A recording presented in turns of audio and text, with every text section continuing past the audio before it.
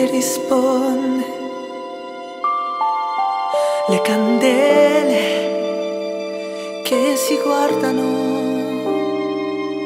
sono pallidi sorrisi, ora santi, ora dannati, chissà quanto persi in fondo.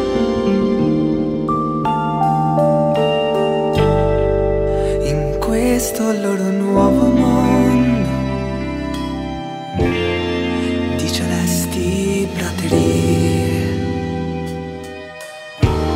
dove eterno silenzio e le promesse sono scritte nel vento.